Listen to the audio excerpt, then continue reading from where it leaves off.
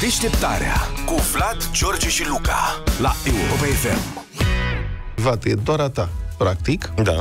pentru spațiu depozitare. Bun. Ah, ok, de, nu-i de locuit. Da, după care, bloc cu interfon, curat, civilizat, foarte central. Deci nu te duci așa la orice beci. Mm. Este ultra central și este și curat și civilizat. Lângă The Office și BRD. Nu știu ce e asta, pe strada 21 decembrie 1989, numărul 75. Are 16 metri pătrați. Deci, Micuță. practic ar Merici- fi... Cum e micuț? E mai mare decât o bucătărie de apartament. Da. Pentru... Da, mă E rog. generoasă boxa. Ar fi cât 20% dintr-un dressing corect în uh, București. 2 metri înălțime plus. Se merge normal, zice. Acces facil, fără inconveniente. A, adică nu trebuie să mergi boboșat, Da. cum, că mai sunt Beciuri știi cum de-astea erau în care- de alea unde Da, trebuie da, să da. mergi, Da. care are 1,60 m înălțime. Exact. Deci se merge normal. Mergi ca mândru mergi. Cur- Prin proprietatea ta. După care se precizează curent electric. Da. Deci Bun, ai și civilizat. Da, că erau boxe unde nu era, trebuia să mergi Da. cu lanterna. Cum stăteam eu, când eram mic, mergeam cu lanterna. La boxe mi-era o frică de muream. mergeam cu alți copii. Noi n-aveam boxă, dar mergeam cu alți copii care aveau un boxă Sania, Da. fel de fel de acareturi, știi? Da. Mamă, și acolo, da, așa se mergea. Marmelada. și puțin cocoșat, mirosea igrasie, ceva Așa, înfiorător. da. Bravo, parcă mi-aduce aminte de copilărie. Și la mine la Lanternă, fel. era o Exact. peripeție, adică, bă, mergem la boxe. Uh-huh. Și aveai lanternă de aia pătrată, așa pe care se ținea uh, cu mâna așa în față. Erau Nu, de- aveam o Era o lanternă- baterie pătrată cu două... Da, le știu Doi bateriile alea. electrozi, Da, deci le puneam pe puneai limba. limba. Alea, da. Toți le puneam pe limba. Toată lumea. Bateriile alea. Dar lanternă nu aveam de aia cu tigru, una cu două baterii și una cu trei. Aveai aia aia chinezească chinezesc, argintie. Argintie, da. Ma- Da, cu Mamă, două erai- baterii era așa și așa și cu trei era bombă, mamă, era bombă, cu era reflector. Cu Aia, tigru. cu trei. Exact. Da. Cine avea de aia era om. Deci continui. Curent electric. Da. Bun. Și după care se precizează, fără rozătoare. Ma, și mai bun. Fără rozătoare. Că mai depinde ce pui la boxă. Noi aveam rozătoarele, erau într-adevăr. Și noi aveam rozătoare. Adică știe ce vorbește ăsta în anunț, e de-al nostru. E Da. sigur născut înainte de 80. Tata avea un meci nesfârșit cu rozătoarele. Da, da, da.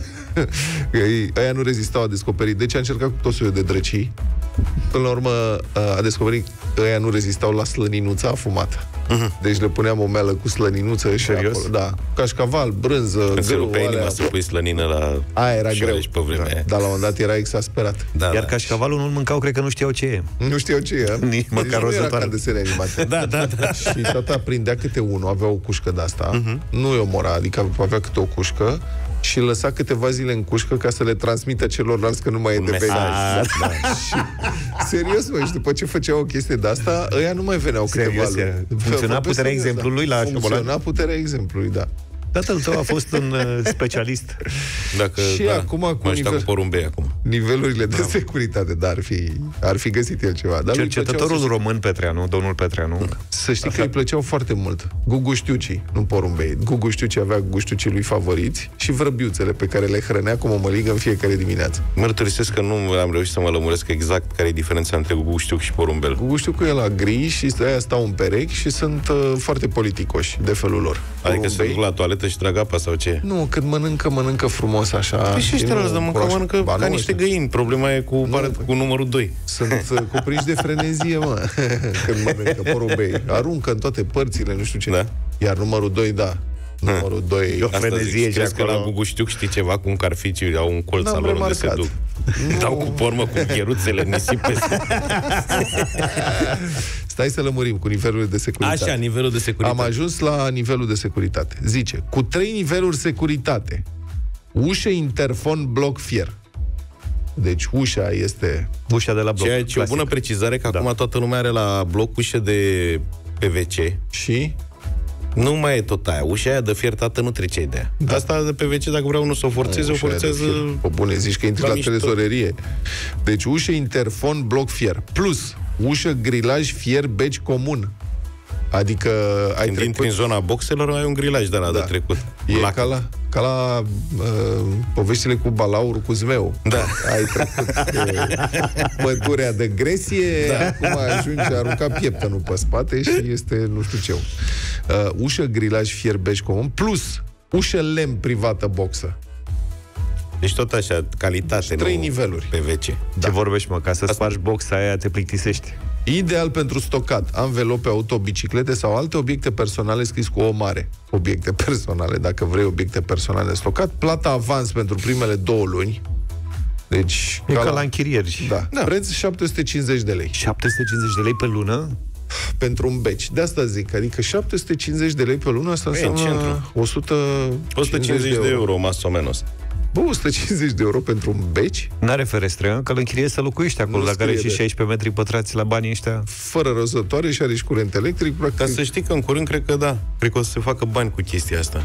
cu ce cu depozitare Da, pentru... pentru că dacă sunteți atenți, proprietățile astea noi nu mai au spații de depozitare. Da, domnule, deci unde așa am fost este. în apartamente, dar nici balcon, nici spațiu de... Nu Exact. există de bara, nu există balcon. Nimic. Bravo, da. Deci dacă vrei să spui și tu o cutie de aia de pantofi cu ciocani și șurubelniță, N-ai unde, ca orice exact, băiat, exact. să ai și tu măcar atât.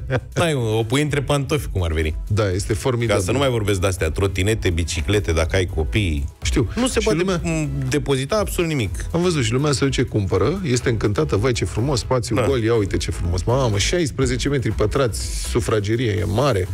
Și nimeni nu pune această întrebare. Bine, dar unde o să punem aspiratorul? Nu te supăra. Da. Sau alte lucruri de care avem nevoie. Vorba ta, trotineta, tricicleta... Dar câte Ce și faci mai cu asta? câte? Eu am două dita mai dulapurile pe balcon pline cu tot felul de trăznăi. Da, exact. Bine, da. sigur, nu e bine nici așa Nici să așa. depozitezi fel de fel de tâmpenii. Dar mai știi ce ai acolo? Nu mai știi. Ce? Nu mai știi. În linii mari, da. Nu. Destul de ordonat. Linii mari. Linii mari. Ia du-te diseară și... Și că eu mi-am făcut magazie în curte. Am zis o să fie ordonat, mi-am făcut rafturi. Și tot în linii mari. Da, periodic nu se poate intra în magazie. Este, nu, mai, nu se mai poate. Și acum se poate intra. Mă, nu e o magazie mare, cred că are cât? Doi, pă, cred că are 4 metri pătrați cu totul.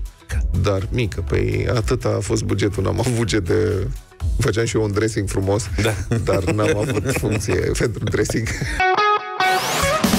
Deșteptarea cu Vlad, George și Luca la Europa FM.